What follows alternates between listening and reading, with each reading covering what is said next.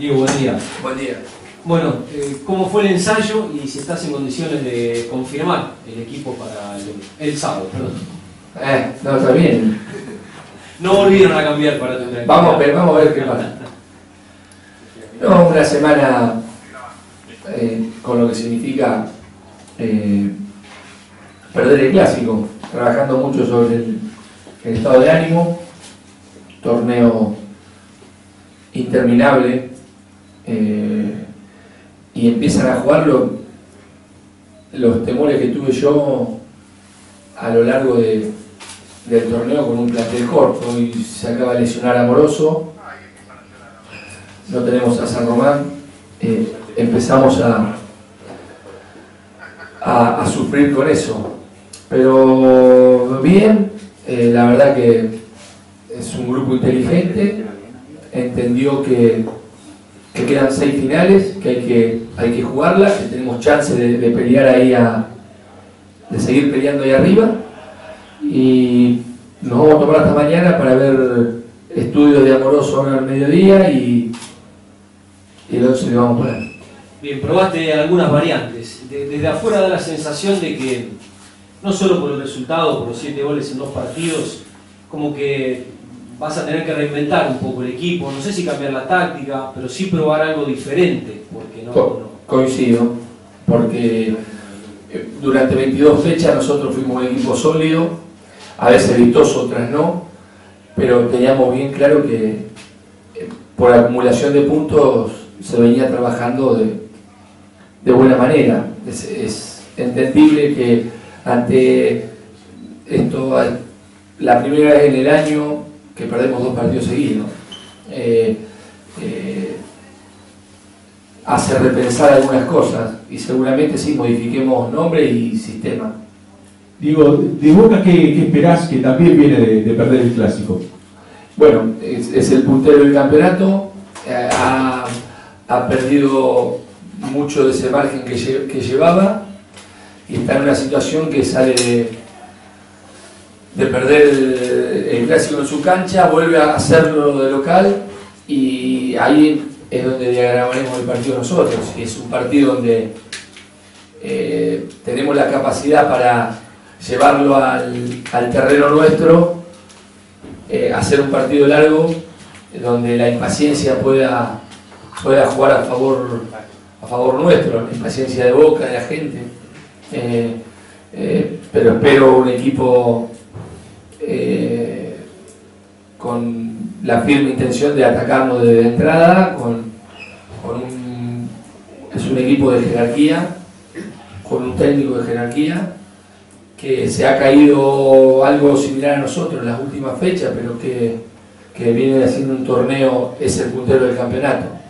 Así que hay que ver cómo reemplaza a Centurión, eh, qué va a hacer esa mitad de la cancha que seguramente la- si, si juega decididamente Maroni de enganche y la posición que ocupe Barrio y, Pérez por delante de Gago.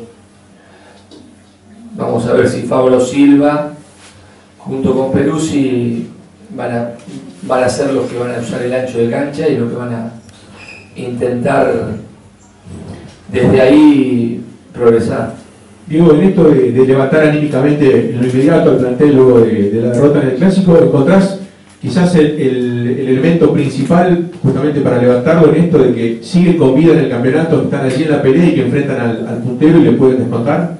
Seguro, aparte tenemos eh, un plantel inteligente que sabe que, que no se puede, que no puede dar por terminado esto. Nosotros nos queda la parte más linda del torneo ahora, el final, donde se, se juega por muchas cosas. Y estamos ahí con, a la expectativa, como varios equipos.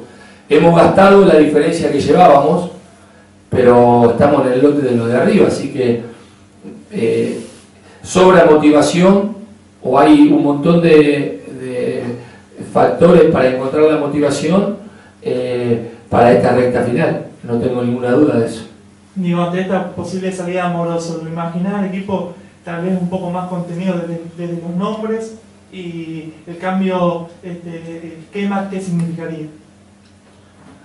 Que el cambio de esquema, eh, que podemos pasar a jugar con cuatro volantes, armar un, un 4-2 bien definido, puede ser una de las posibilidades, creo que no va a salir de eso.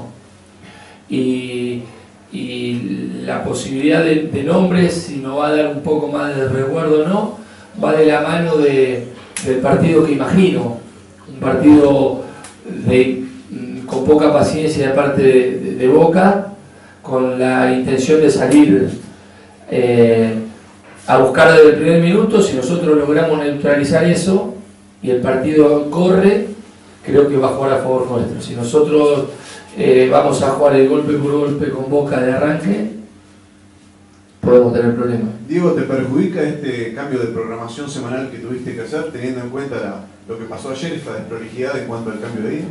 No, a, nosotros, a, a, nosotros y a Boca. A nosotros un poco más porque tuvimos que rearmar viaje, cambiar día de hotel, y son todas cosas que, que eh, secretario técnico lo hace con anticipación para, para no correr ningún riesgo. Lo bueno sería que lo, lo, se maneje de otra manera, pero no, no, no sorprende más nada acá.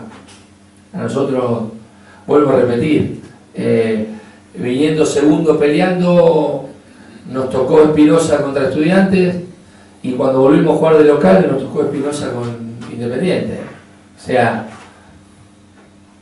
no, no veo por dónde eh, cause sorpresa esta ida y venida.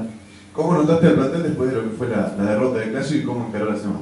No, bien, un grupo con el dolor lógico de perder un clásico, pero con, con eh, la, la, firme intención de, de, seguir para adelante. Esto es la virtud que tiene este grupo. Si, si quieren que encontremos problemas, lo, lo, lo, hemos encontrado durante todo el año y, hemos podido resolverlo. Eh, eh, lo que pasó, pasó, nos, nos molesta a todos, eh, pero dentro de la autocrítica está también la, la convicción para, para seguir para adelante. No, uno no se puede detener. Estamos ahí arriba, no tiene que opacar el, el muy buen campeonato que viene haciendo Newells y tiene que cerrarlo de la mejor manera. Digo, en sintonía con lo que dijiste de los nombres de árbitros, ¿qué te genera el nombre del Fino para este partido en especial que es el más trascendente de la fecha? Yo, eh, la verdad, eh, trato de hablar poco, sí, no dejo de, de, de, sorprenderme, porque hemos pasado, desde que esto ha cambiado, hemos pasado por los horarios de las 11 de la mañana, de las 2 de la tarde, eh, repetición de árbitros cada tres partidos. la verdad, ojalá tengan muy buen partido, son un muy buen árbitro, pero eh, hay cosas que, se van a tener que, que acomodar para bien del, del, fútbol porque así no se puede seguir, no se puede cambiar el horario de un partido un día miércoles a las 7, enterarse del entrenador un día miércoles a las 7 de la tarde que va a jugar el día sábado. Modifica planificación, modifica, eh, genera fastidio en, los dos equipos ¿eh? Eh, y eso no está bueno. Diego, de, Delfino es eh, el árbitro que vos en algún momento dijiste que tenía algo personal con vos o con tu cuerpo técnico. Recuerdo, bueno, aquella derrota, la primera del campeonato donde pierden el invicto con, Racing, eh, con jugadas polémicas. Eh. Análisis. Está bueno que analicen, está bueno que se mire, pero es indudable de que, de que nosotros estamos viviendo situaciones que a mí, generalmente, eh, fundamentalmente me molestan. Me, molesta esto, cambio horario. Vuelvo a repetir, creo que es un inconveniente grande para Boca y para, y para, para y para Boca, no, no para Newell nada más. Un poco más porque tiene que organizar, reorganizar un viaje, pero creo que, que Guillermo debe estar eh, eh, contento con, con que uno tiene que adelantar lo que planificó y modificar, uno ensaya, eh, prueba, error, vuelve a probar, eh, pero ojalá que, todo bien y, y, punto. ¿De Copa Argentina tienen alguna fecha al menos A mí no me comunicaron nada. Hay alternativas que se manejan ahí en, en fecha FIFA, que creo que es eh, 14. 14.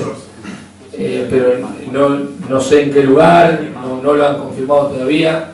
Estamos a la espera. Seguramente cuando nos toque no va a haber problema.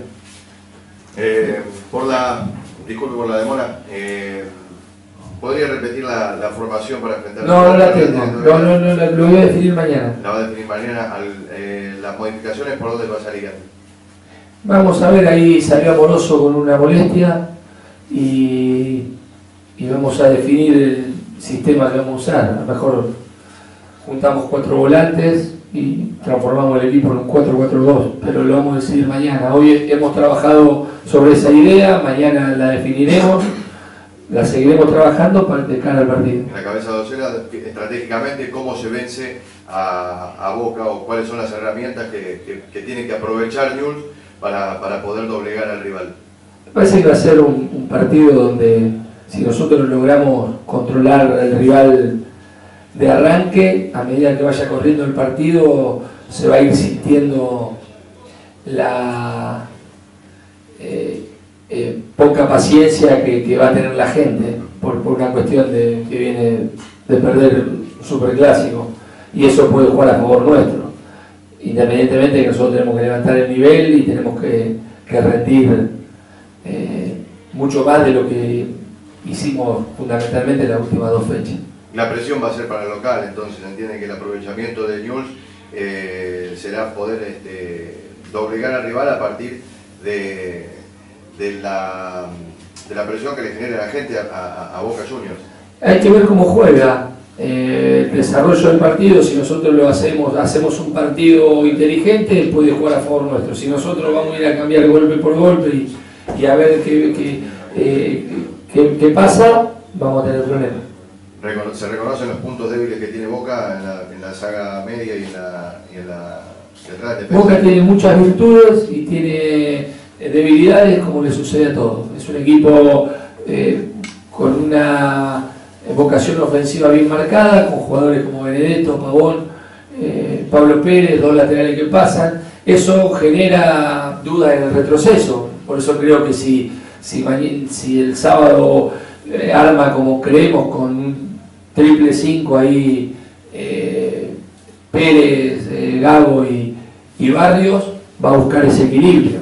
Así que hay que tener bien claro eso y tratar de, tapar lugares donde ellos van a querer transitar con sorpresa, que son las bandas.